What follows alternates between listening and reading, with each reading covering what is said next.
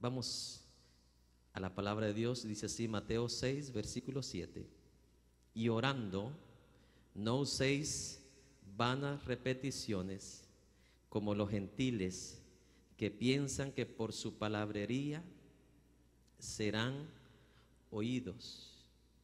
No hagáis, todos el 8, no hagáis pues semejantes a ellos, porque vuestro Padre sabe de qué cosas tenéis necesidad antes que vosotros le pidáis. Tome su lugar.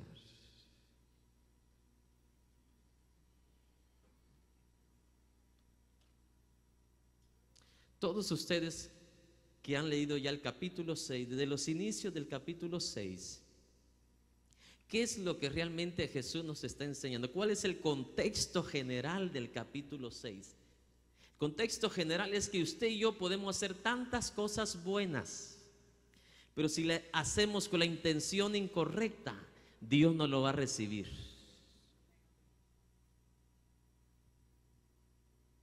Dar algo, hacer una donación a alguien no es malo, es bueno, se llama bondad. Pero si lo haces incorrectamente, dice Jesús, la única recompensa que vas a recibir es la de esa persona, pero no la de Dios. ¿Cómo así, pastor, incorrectamente? Jesús lo explicó de qué manera se hace incorrectamente. Cuando tú das algo a alguien con la intención de que alguien más se dé cuenta que tú lo hiciste. ¿Me está escuchando?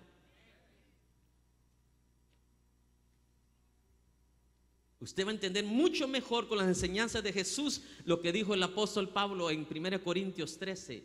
Tú puedes regalar toda tu plata a los pobres, pero si no tienes, ¿qué dijo? Amor, de nada que te sirve. Entonces, escuche bien, el que tiene un amor genuino no está interesado a que alguien más se dé cuenta.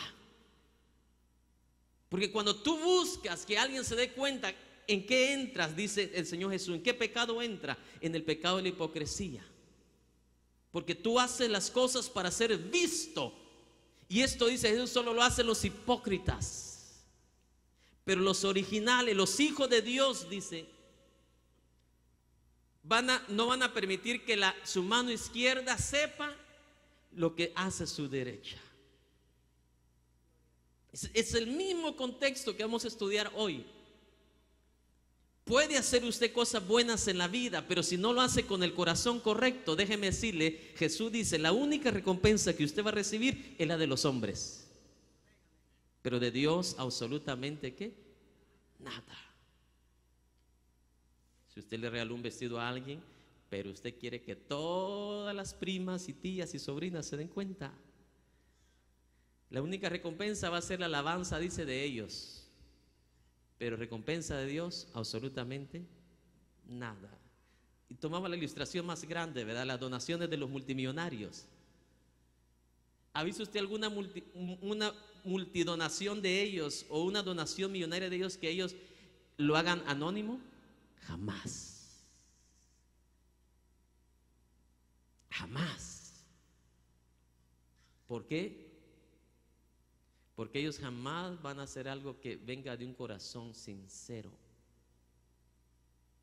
Ya cuando tú buscas el ser visto o ser reconocido por lo que haces delante de los ojos de Dios, aunque ante los hombres seas alabado y honrado, wow, mire qué donación tan grande.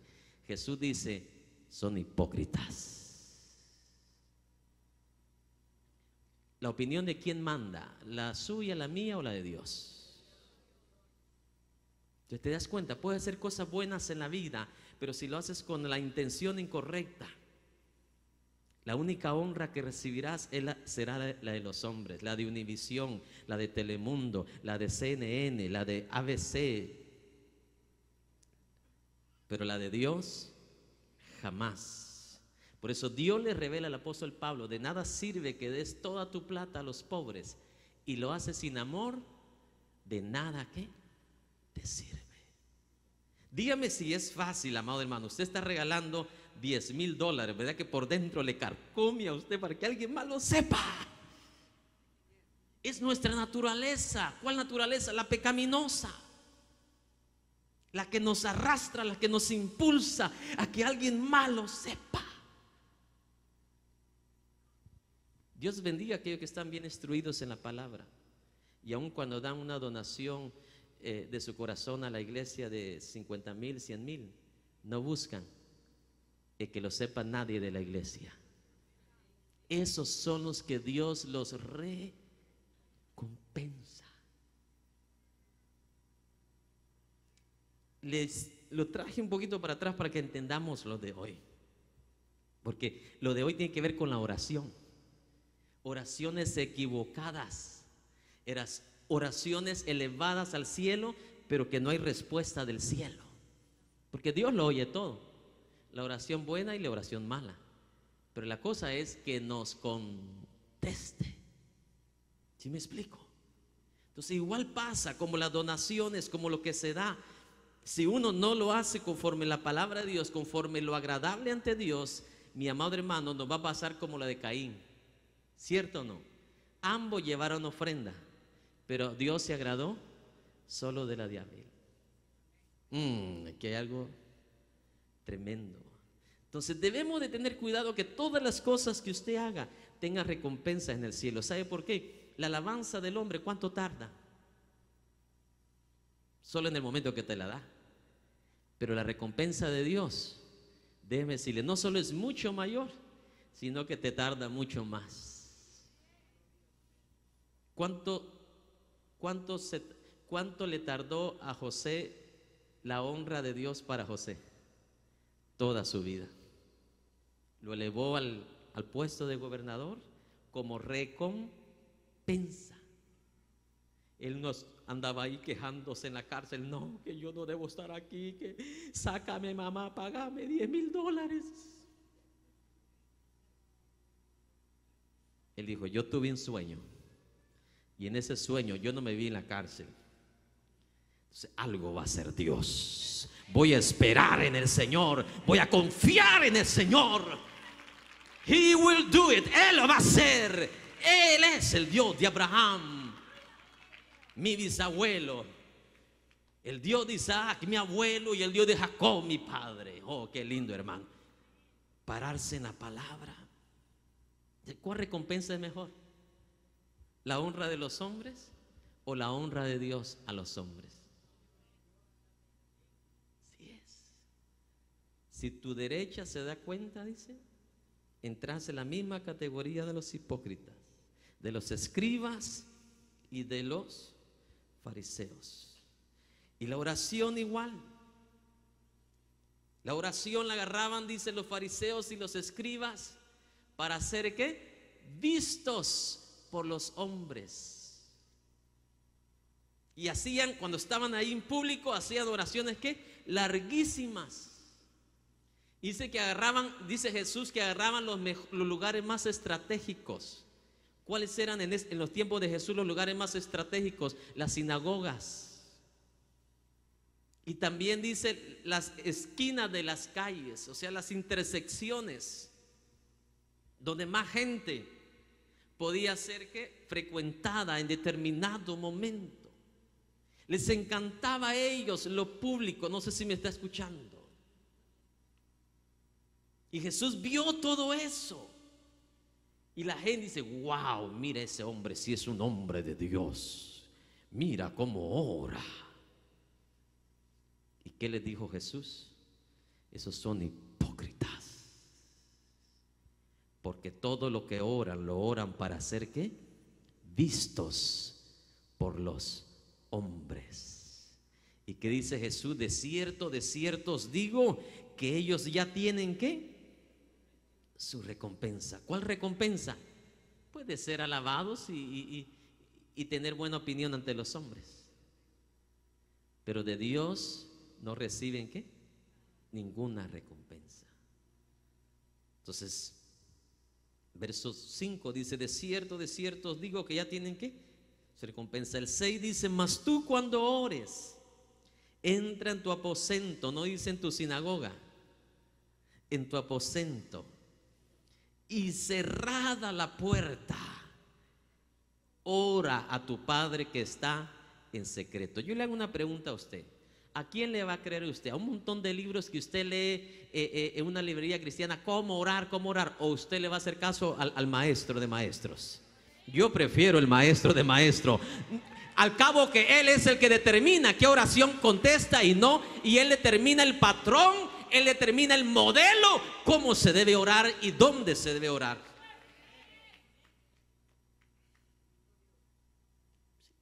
Te escucha muchos libros como cómo llegar, cómo hacer que tu oración llegue al cielo, cómo hacer que cuatro pasos o diez escalones para poder eh, que tu oración le escuche Dios. Mire hermano, Jesús no habló de diez escalones ni de cinco pasos, Jesús lo dijo muy claro, muy simple, muy directo aquí. Cuando, cuando ores, entra en tu privado, entra en el cuarto más pequeño que tienes donde tú vives. No me voy a preguntar, pastor, ¿y de qué size lo tengo que hacer? Jesús no habla de tamaño. Lo que está haciendo una referencia que trata de estar lo más privado, lo más alejado de las personas, del público. ¿Sí me explico?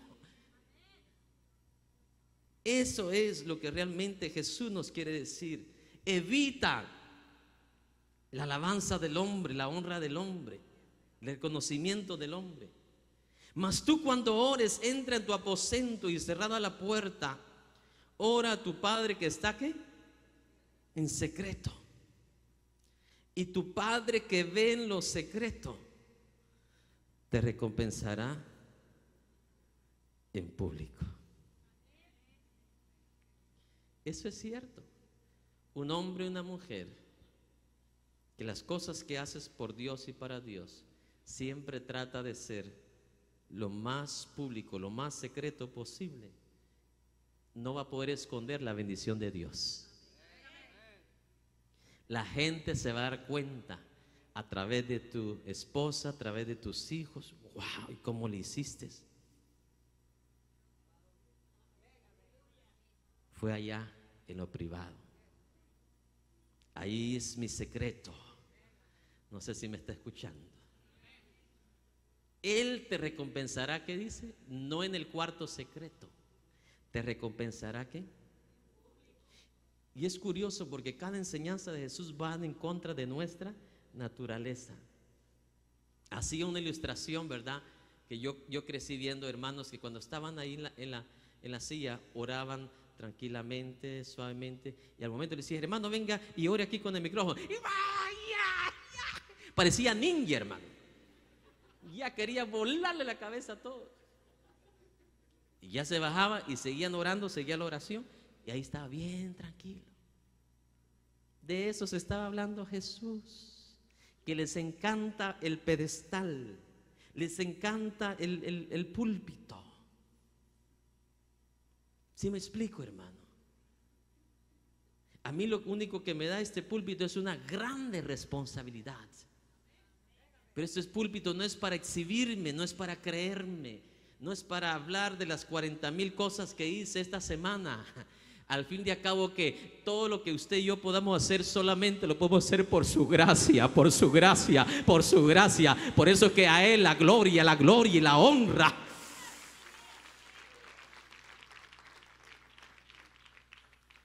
He aprendido por la palabra que el único testimonio que el Espíritu de Dios honra y alaba es el testimonio de Jesús. Si yo me paso aquí una hora hablando de mí y mis logros, no sucede nada. Pero si me paso hablando aquí de, Jesús, de su palabra, de su reino, cosas suceden en los corazones, cosas suceden en los países mientras esta palabra está llegando a las naciones. Él es el único que merece todo honor, toda honra y toda qué? Gloria. Ahora vamos a entrar al 7. Y orando dice, no uséis que vanas repeticiones como los gentiles que piensan que por su largura de palabras o sus largas oraciones serán que escuchados. Hoy vamos a estudiar acerca del contenido de la oración. Día conmigo el contenido de la oración. Porque los primeros versículos de qué habla Jesús? La actitud de la oración. ¿La actitud de qué? De ser visto. Ahora Jesús habla del contenido de la oración. ¿Qué debe contener qué? La oración. Los ingredientes, por los que no entienden como contenido, los ingredientes de la oración. Quiero empezar hablando acerca del falso contenido. Repeticiones, ¿qué dice Jesús? Vanas o vanas repeticiones. En otra descripción original dice repeticiones sin sentido, repeticiones sin significado. Y orando dice, no uséis vanas repeticiones como lo hacen ¿qué? los gentiles. En el tiempo de Jesús y aún en nuestros tiempos era muy común esta práctica de vanas ¿qué? repeticiones. En muchas religiones paganas, como en muchas religiones hoy en día, y aún en el cristianismo, no solamente en las religiones paganas, en las religiones de este mundo, también en el cristianismo. Se usa mucho esto, la vana ¿qué? repetición. Algunos las usan porque sus líderes le dijeron, hay que hacer esto, hay que repetir esto, hay que declarar esto. Y que porque le funcionó a Pedrito, piensa que a Mateo le va a funcionar. Déjeme decirle, si no hay fundamento en la palabra de Dios, nada de eso va a, ¿qué? a suceder. Una hermana viene y le aconseja a otra que está en un gran problema y dice, hermano, usted cúbrase con la sangre de Cristo. Porque a ella le funcionó. Déjeme decirle, usted no se cubre con la sangre de Cristo, usted se cubre con lo que dijo Oscar Medina hoy, la armadura de Dios. Usted es limpio por la sangre de Cristo, pero usted se protege de Satanás, del diablo, de toda la hueste de este mundo con la armadura de Dios vestidos pues de toda la armadura de Dios para poder, para poder estar ¿qué? firmes contra las acechanzas de quién? Del diablo. Entonces usted puede pasarse diciendo, orando, me cubro con la sangre de Cristo, me cubro con la sangre de Cristo, me cubro con la sangre de Cristo, me cubro con la sangre de Cristo. Vana repetición. Vana repetición. Lo mismo como hacen, ¿verdad? Los, los brujos cuando hacen sus, sus, este, sus trabajos. Repiten y repiten y repiten y repiten y piensan de que Dios es así también. Imagínense, Dios dice, yo a este no le entiendo nada. Entonces, en muchas religiones se usaban esta clase de, de vanas repeticiones. Los judíos recibieron esta práctica de los gentiles, quienes pensaban que el valor de una oración eh, estaba en la cantidad o en la largura de la oración. Ellos pensaban que entre más largo oraban, mejor. Jesús dijo, orad sin cesar. ¿Sabe qué significa esto? Que toda tu vida debe ser una vida de oración como el agua que tomas y la comida que usted come. Pero usted no se la pasa comiendo todo el día, ¿verdad que no? Usted no toma agua, eh, eh, usted no agarra un vaso de agua y se pasa 10 horas tomando ese vaso de agua, ¿verdad que no?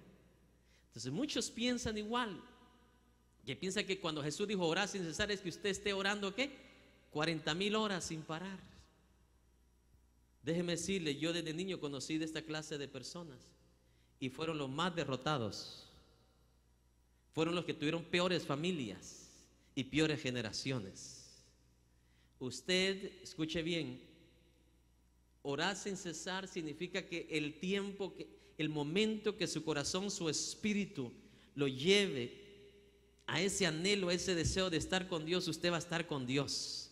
Sin importar qué hora sea, el momento que sea, a ver, momento que usted ahora manejando y usted va a tener anhelo de parquear mejor su carro ahí en un parque y empezar a hablar con Dios, hablar con Dios, hablar con Dios, hablar con Dios, hablar con Dios.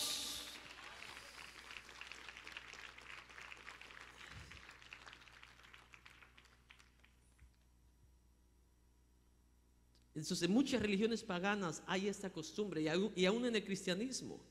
En 1 Corintios vemos una de las primeras demostraciones. Cuando Elías juntó a los profetas falsos, ¿se recuerda?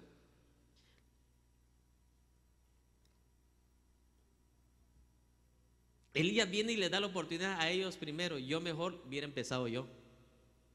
Y no esperar, hermano, más de seis horas. Porque empezaron a orar a su Dios, a orar a su Dios, a clamar a su Dios. Sé que hasta los vestidos se rasgaban, hasta los cuchillos venían y empezaban a herirse para que su Dios lo escuchara. Empezaron a orar de esa manera, repetida y vanamente. Y vamos a ver cómo se ora. Y, ya estaba entrando ya la tercera y dijo, quítense de aquí ustedes, déjenme a mí ahora. Y viene Elías. ¿Y qué clase de oración hace? ¿Ah? Simplemente, Señor, si soy tu siervo, que ahora descienda fuego sobre este altar. ¡Wow!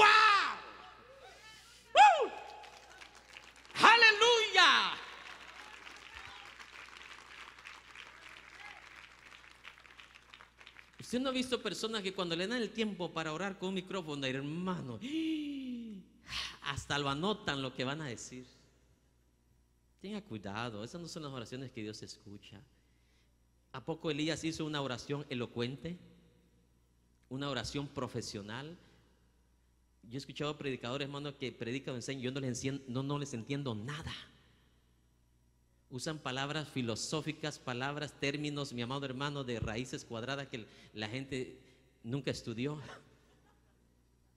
¿Y lo hacen para qué? Impresionar. No, usted ve la enseñanza de Jesús, eran qué? Sencillas. Se entendían. Igual la oración es sencilla. No sé si me explico. Usted no puede impresionar a Dios con su palabrería. Usted no puede instruir a Dios con su multitud de palabras. Aprendamos de los hombres de Dios de la Biblia.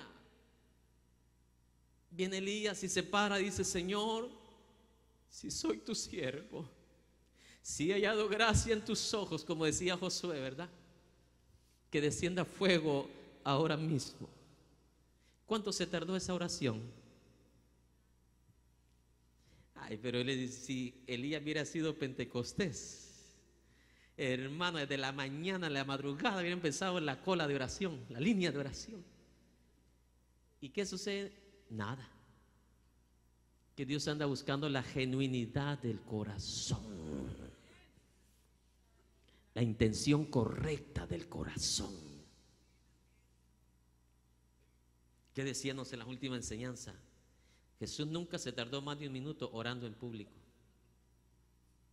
su secreto de oración estaba en lo privado, ahí donde Jesús se tardaba su tiempo con el Padre. ¿Se da cuenta la diferencia? Pero usted lo ve en público a Jesús. Al ciego que le dijo, recibe la vista. ¿Cuánto se tarda eso? Ni 10 segundos. A Lázaro, ¿cómo le dijo? Lázaro, ven Ay, hermano, digo, una iglesia de Pentecostés se tarda 10 días y 10 noches orando y ayunando y no pasa nada. Porque todo lo hemos hecho al revés. ¿Alguna vez usted ha puesto zapatos al revés? Yo sí, hermano. Un día desvelado y cansado. Y decía, me apretan los zapatos. No me decir que a usted no le ha pasado también. Hasta calcetines se ha puesto usted al revés.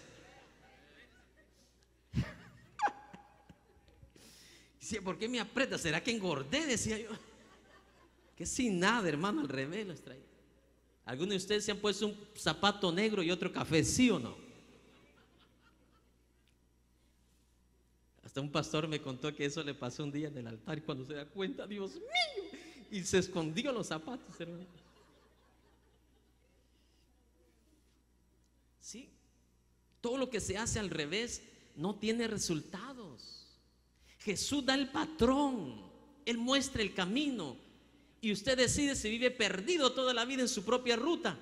Usted tal vez va por el 10 y Jesús está en el 45. Es la realidad. Eso, mire hermano, Yo tengo mucha gente que me ama, pero mucha gente que me odia.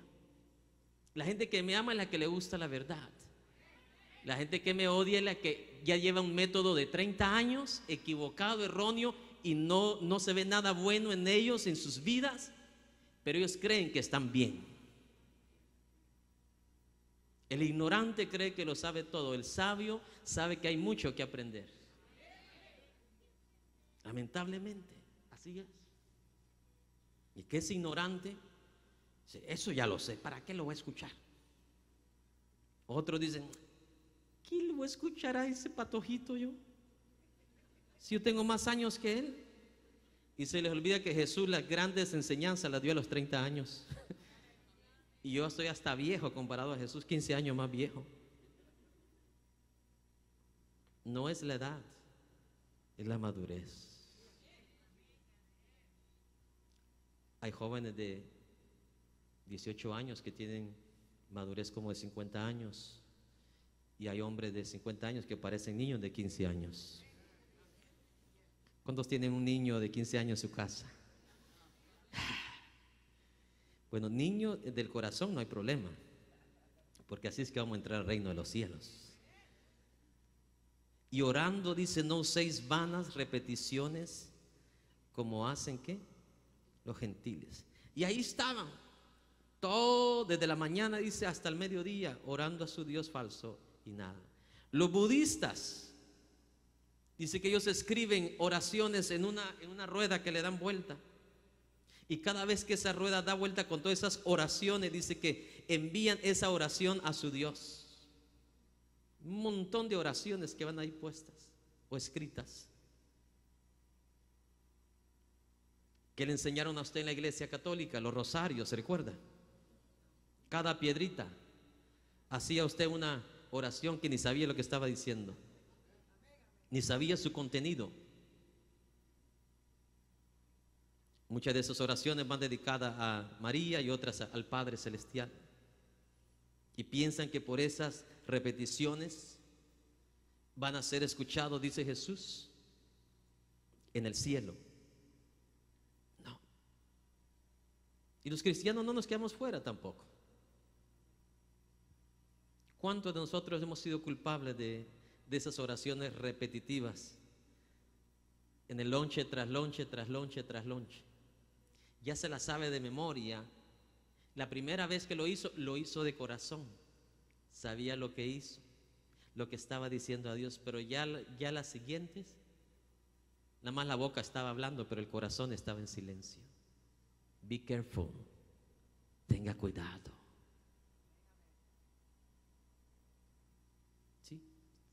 Si usted escucha a personas que cuando les da tiempo para orar, ora lo mismo, tenga cuidado porque puede estar cayendo en esta vana repetición. El corazón no todas las veces va a decir lo mismo, el espíritu no todas las veces va a decir lo mismo. Imagínese que si Jesucristo hubiera dicho todas las veces lo mismo, no tuviéramos Biblia, hermano. No sé si me explico. Pero lo que sale del espíritu casi siempre en una ocasión nueva va a ser algo diferente. No es que va a cambiar las palabras, porque las palabras tienen que ir de acuerdo a la voluntad de Dios, conforme la palabra, pero, como le dijera, es, uno como cristiano puede caer en eso de que uno está diciendo las palabras, pero ya, ya no lo está diciendo con el corazón y con el espíritu, sino porque la mente ya lo sabe, ya lo tiene de memoria, ¿sí me explico? Y nuestro espíritu verdaderamente en ese momento no está trabajando. Y ahí donde esa oración se puede constituir en una vana qué? En una vana repetición. En otras palabras, donde no sabemos lo que estamos diciendo, está saliendo de la boca nada más así. Pero no pensamos, no sabemos lo que estamos diciendo, mis amados hermanos. Y esas clases de oraciones, según Jesucristo, son ofensivas para Dios. Dios no las puede, ¿qué? Escuchar. Y no me vaya a mal, malinterpretar. No estoy diciendo que Dios prohíbe las oraciones repetidas, no. porque hasta Jesús habla de eso. ¿Se recuerda aquella dama que llega con el juez a pedirle un favor y no se lo hace? Y ella sigue intercediendo, sigue, sigue, sigue. Hay ciertas necesidades en tu vida que obvio tú vas a orar a Dios y va a ser la, misma petición, la misma oración. Pero aquí Jesús está hablando de esas vanas repeticiones en las cuales eh, tú ya te las sabes y hace de esa oración algo mágico. No sé si me explico. Hay un gran peligro cuando usted lee en un libro de alguien, no importa de quién sea, donde a usted le dice repite estas palabras, tenga mucho cuidado. Porque él o ella lo hizo de su corazón y de su espíritu. Pero ya cuando usted lo haga, ya no va a ser lo mismo. Dios quiere escuchar, pero su espíritu. Usted no tiene que tener palabras extraorbitantes. No, Dios lo que escucha es el corazón genuino, el corazón sincero. Pero tenga cuidado de hacer caso a esos libros que dicen, usted tiene un problema, repita estas palabras. No, no, a él o a ella le funcionó porque salió de su corazón. La pregunta es, ¿va a salir de su espíritu cuando usted haga eso? ¿O usted lo va a hacer nada más repetitivo porque lo aprendió de memoria? Nos vamos de regreso al catolicismo, ¿sí me explico? Donde repiten y repiten el mismo rosario, rosario, rosario, rosario, una y otra vez. Y pensamos que eso va a tener influencia, va a tener poder, autoridad en el cielo. No, es lo que sale en ese momento, en ese instante que tú estás en oración. Es eso genuino, eso puro. No sé si me está escuchando, mi amado hermano. Y te aseguro que cuando sale así puro, no sale repetitivo.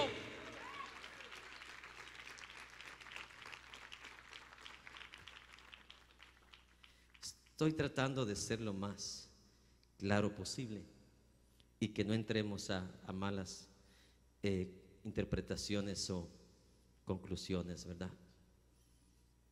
Porque Jesús, aún en su agonía, cuando estaba en sufrimiento, tres veces ora al Padre, Padre, si es posible, pasa de mí esta copa.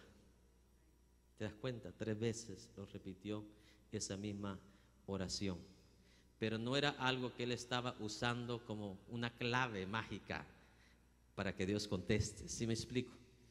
Era de dónde estaba saliendo eso, hermano de lo profundo de su ser. yo creo que nadie de nosotros hemos estado en una agonía como esa, mi hermano. Sabes que en los próximos minutos te van a tirar los látigos, hermano, eran pedazos de, de hueso afilados que entraban y se incrustaban en el cuero. y cuando jalaban el látigo, venía de regreso con pedazos de carne. Todo eso sabía Jesús que le esperaba. obvio, tenía toda la razón de encomendar su vida en oración a Dios. Y aquí vemos repetir tres veces la misma súplica. Pero vuelvo, te das cuenta, no es una fórmula mágica, no era algo que él se aprendió de memoria, fue algo original que nació en ese momento. No sé si me explico. No eran palabras extravagantes, palabras que llaman la atención, fueron palabras que salían de qué? De lo profundo del corazón si quieres pasa de mí, ¿qué? Esta copa. Entonces, aquí no estamos tratando de decir, eh, es malo, es pecado que usted haga la oración de hace 10 días o 5 días. No, estamos hablando de esa clase de oraciones que no, que no nacen del corazón, sino que nada más nacen de aquí. ¿Sí me explico? Pero no nacen de lo profundo de tu ser, no nacen del espíritu, es, ese momento donde tú estás verdaderamente, genuinamente entrado y concentrado en la presencia de quién? De Dios. Vamos al verso 8. No os hagáis pues semejantes a ellos, porque vuestro Padre Celestial sabe de qué cosas tenéis necesidad antes que vosotros le pidáis. Entonces, lo que está dándonos a entender Jesús aquí es que Jesús no necesita que usted lo agarre de aquí del cuello. Por favor, Jesús, hazlo, mira cómo estoy. No, si tú confías en Dios, si tú amas a Dios, tú le obedeces, tú le eres fiel. Y tu labor es confiar en Él, descansar en Él. Si no, nos va a pasar como los falsos profetas, ¿verdad? Contéstanos y hasta se rasgaban las vestiduras y se ensartaban los cuchillos. Así hacen hoy mucho, ¿verdad? Entran en el gran problema. El doctor les dijo, vas a morir. Quieren ayunar todos los días y orar todos los días. Y piensen que por esas oraciones largas, esos ayunos largos, Dios les va a contestar. ¿Me está escuchando? Es el problema que hacemos del ayuno el centro y no Jesús. El, día que usted haga de la oración el centro y no Jesús, vamos a vivir equivocados. ¿Por qué ora usted? Porque nace de su espíritu, es algo natural dentro de su ser. ¿Sí me explico? Pero jamás, jamás piense que porque usted va a ir a orar, usted va a convencer a Dios para que le haga lo que usted pida. Entonces Dios dejaría de ser soberano, grábeselo en su corazón. Entonces Dios dejaría de llamarse soberano y se llamaría Santa Claus. Sí, usted a Santa Claus, los niños antes le pedían, ¿verdad? Y supuestamente dice la leyenda, la fábula, que Santa Claus venía y le traía regalitos. Dios dejaría de ser soberano para hacer una piñata. Y usted viene y cuando quiere dulces, ¿qué hace con la piñata? Le da el garrotazo. Y ahí caen los dulces. Así que hace mucho cristiano. Señoras. Y quieren bajar el cielo con oración, con ayuno, con vigilia y hermano, y hasta también hasta se rasgan las vestiduras. En ese sentido. Dios no es así. Obvio, en el Antiguo Testamento vemos prácticas o momentos que, el caso de la reina Esther, ayunó tres días, tres, tres noches con toda la gente. Y Dios, en su gracia, viene y les contesta. Pero déjeme decirle que no fue por el ayuno. La Biblia no dice que fue por el ayuno. Es Dios quien hace la obra. Es Dios quien hace qué? Les ilustré lo, de Daniel. Cuando Daniel no tenía problemas, él oraba tres días, tres noches. Cuando vino el gran problemón, la ley contra él, Daniel siguió igual, orando tres días y tres noches. Pero si Daniel hubiera sido de Pentecostés, le hubiera metido seis veces. Vamos a meterle la cuatro por cuatro a la oración. El que es original no cambia su curso. Porque usted no puede impresionar a Dios con la oración o con el ayuno. Jamás. Su deber, su labor es hacer lo que le corresponde, orar, ayunar, obedecer, ser fiel. Pero acuérdese que sobre todo Dios es soberano. Dios toma la última palabra. Dios que te ama hará lo que sea mejor para tu vida. ¿Cuántos tienen oídos? Me gustan las palabras que dijo Martin Luther King en cuanto a la oración. ¿Cuántos se recuerdan de él? Un pastor muy valiente, que ojalá que hubieran unos 10 por lo menos en este tiempo. Digo valientes que no necesitan guardaespaldas, necesitan la presencia de Dios. Él dijo estas palabras en cuanto a la oración. Dice, en la oración, dice, tú no instruyes a Dios qué hacer, tú te instruyes a ti mismo. ¿O a poco usted le va a decir a Dios cómo debe de ser el milagro? ¿Y en qué día lo tiene que hacer? ¿Le puede enseñar usted algo a Dios? Estas palabras son de un sabio. En la oración tú no instruyes a Dios, tú te instruyes. ¿Qué le vamos a enseñar a Dios? No le enseñamos absolutamente nada. Dice, el propósito de la oración, dice, no es para informarle a Dios, ni para persuadir a Dios, si no es para venir delante de Él sinceramente, con un propósito, con una conciencia y con una devoción.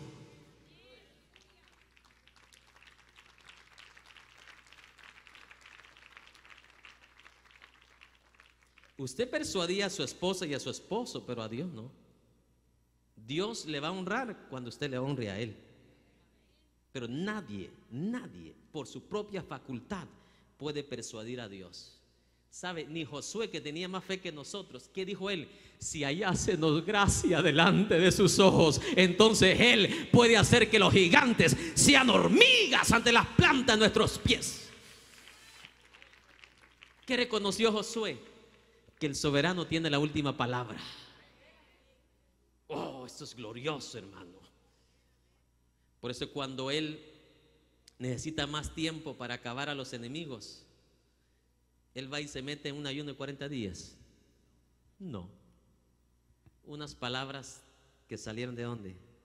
De su espíritu, su corazón. Señor, I need more time. Y ya va a anochecer detén por favor el sol, le dice, ¿sí o no? Aunque usted sabe que no fue el sol que se detuvo. Pero Dios le entendió, ¿se da cuenta? Josué no necesitaba saber astronomía para saber lo que Josué estaba diciendo. ¿Sabe por qué? Porque salió del espíritu del... ¿Y quién es el Dios de los espíritus? Dios. Dios entiende todos nuestros lenguajes. Pero ahí está la clave. Si allá se nos qué? Gracia. No estaba en ninguna manera Josué tratando de qué? De convencer a Dios. Estaba acudiendo a su sobera. Ana igual en el altar. ¿Qué le dijo? Si te place darme un hijo, si en tu corazón está en darme un hijo, yo lo voy a dedicar a ti, oh Dios. Pero Ana no era las típicas hermanas, hermanos, con las cuales yo crecí en la iglesia. Señor, me lo tienes que dar porque tú sabes que yo ofrendo, yo diezmo, yo vengo a la iglesia todos los días. Imagínense cómo que falta de respeto para Dios. A un rey no se le trata de esa manera. Ni a los reyes de esta vida se les trataba así, mi hermano. La gente cuando entraba en los tiempos antiguos delante de un rey, entraba con el más, más alto respeto y honra. Y hoy hay mucha gente cristiana y respetuosa delante de Dios. Ante todo hay que recordar cómo es Dios, quién es Dios. Déjame decirle que ni los que tienen corona en el cielo, ellos cuando están delante de Dios, que dice la Biblia, se quitan las coronas y se postran. Debemos de venir ante Dios con un corazón que humillado, como lo hizo Ana, lo hizo Josué. Tú y yo no tenemos la facultad, por más santo, obediente que seas, de convencer a Dios. Pero si tú le agradas por tu corazón, por tu entrega, yo te digo que sin necesidad de persuadirlo, Él va a hacer lo que Él sabe que es mejor para tu vida. Y Él cuando se decide hacer algo, Él se manifiesta de una manera gloriosa que solo Él lo sabe hacer.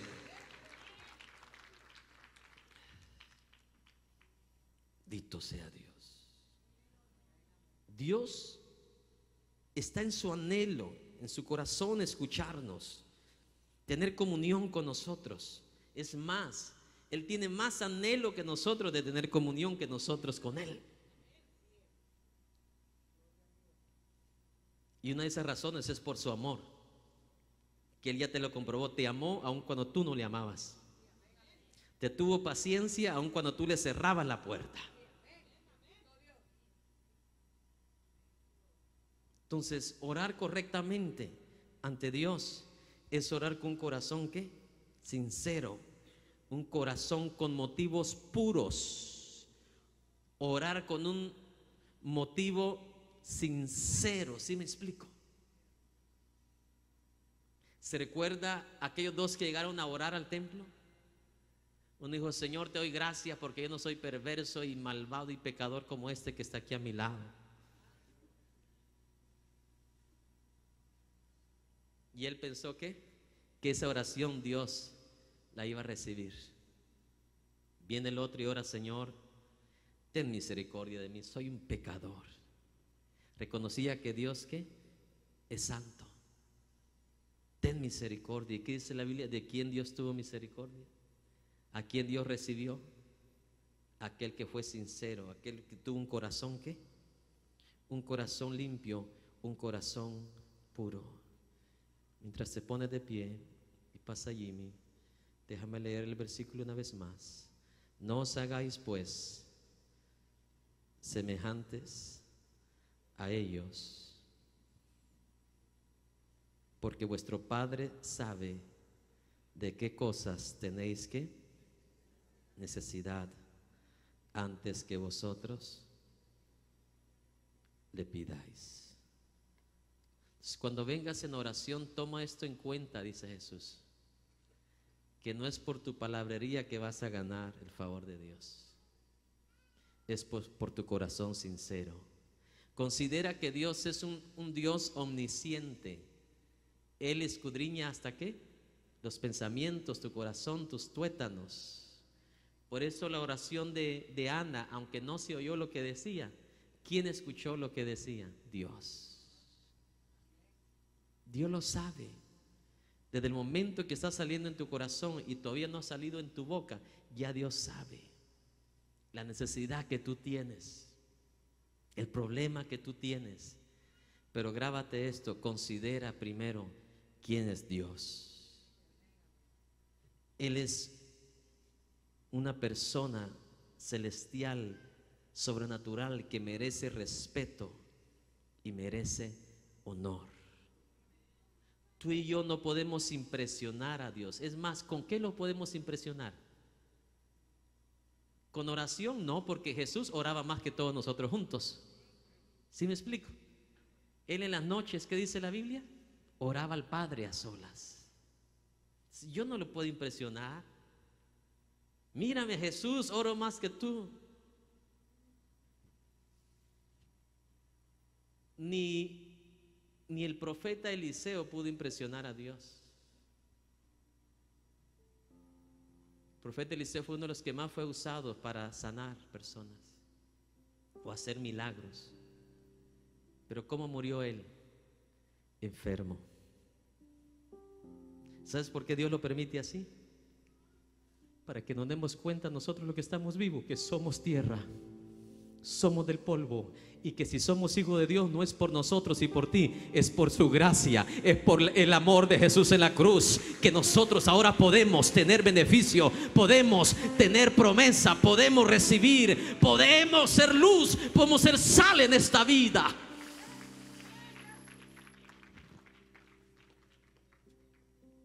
Pero ¿con qué lo puedo impresionar a Dios? Mire, ni Salomón pudo impresionar a Dios.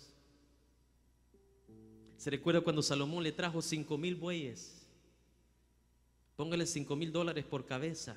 Estamos hablando de cinco millones de ofrenda le trae Salomón a Dios.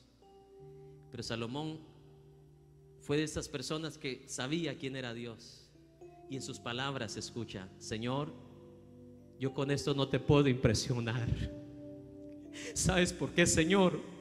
Porque reconozco aquí en mi espíritu que todo es tuyo. Levanta sus manos, todo es tuyo. Dígale, Señor, todo es tuyo. Háblale de lo profundo de tu ser y dile a Dios.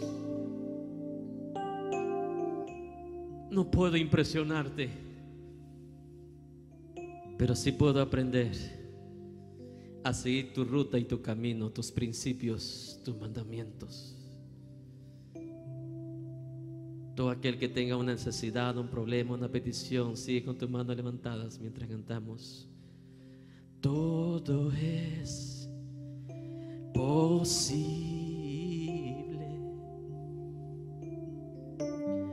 si puedes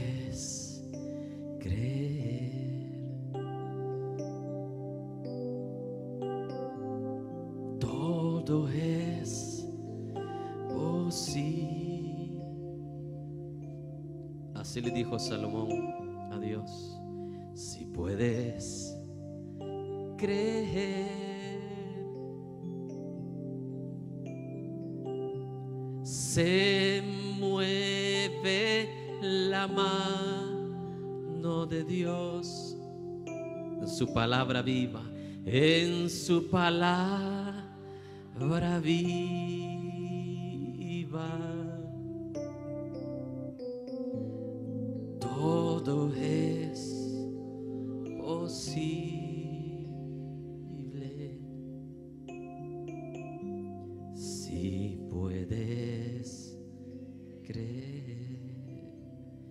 ¿Sabes a qué comparo la oración yo?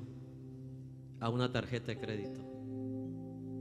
Tú puedes tener una tarjeta de crédito con 10 millones, pero si no sabes cómo usarla, cómo ir al cajero, cómo meterle tu clave, nunca vas a sacar un centavo de ahí, te vas a quedar con la tarjeta de plástico toda la vida. Así es la oración. Si no la haces con el corazón correcto, vas a envejecer, vas a llegar a la tumba y nunca vas a ver el poder que hay en la oración, como dice el canto de Oscar Medina. Porque si hay poder en la oración, hay testigos de ello. Y uno de ellos es Elías, uno de ellos es Josué, uno de ellos es Moisés. Ante sus ojos se abrió el mar rojo. Ante Josué se cayeron los muros de Jericó. Hoy el pueblo cristiano canta por horas y horas, se caen los muros, se caen los muros, pero ni siquiera la yarda de su casa se cae. Y Dios sí quiere mostrar su poder, sí anhela. ¿Sabe por qué? Porque hay base bíblica. Él es el mismo ayer él es el mismo hoy y el mismo por todos los siglos. Hemos escuchado más la voz del enemigo de Satanás, la voz del engaño, la voz de la mentira. Hemos seguido más el patrón de, los, de las religiones paganas que el patrón que nos enseña Jesús. Ana dijo, si está en ti, dármelo. Josué dijo, si hallásenos gracia. Los apóstoles dijeron, lo que pidamos de acuerdo a su voluntad. Jesús también dijo, si orares creyendo, creed, creed y lo recibiréis. Él no dijo en qué hora lo vas a recibir. Él no dijo en qué minuto. Nos corresponde a nosotros confiar y esperar. Nos corresponde a nosotros descansar en esa palabra gloriosa de Dios. Se mueve la mano de Dios. ¿En dónde? Solo en su palabra. En su palabra viva. Porque todo es todo es posible si puedes creer,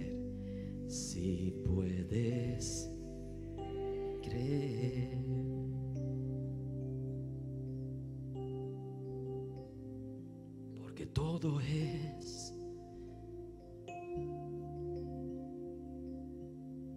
Es mi oración que a ti te pase como el patriarca Jacob este hombre supo hasta el minuto que iba a morir.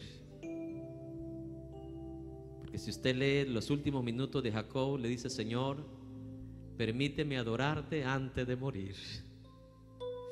Y dice que la Biblia que Jacob adoró y luego expiró. No hay nada más glorioso en la vida de un ser humano que cada presente de su vida reconozca que Dios es el único indispensable. Dios es el único que, se merece gloria. ¿Sabe? Porque la gloria a nosotros, hermanos, nos hace más daño que bien. La gloria a nosotros nos infla, nos llena de orgullo. Por eso que Jesús dijo, aprended de mí que soy manso y humilde de corazón. Cuando Jesús sanaba a un enfermo, le decía, no se lo digas a nadie que yo te sané. Jesús quería seguir con ese corazón sencillo, ese corazón humilde, reconociendo que Jesús no vino a hacer su propia voluntad, dice la Biblia, Jesús vino a hacer la voluntad del Padre. ¿Cuántos aquí están dispuestos a hacer la voluntad de nuestro Padre que está en los cielos?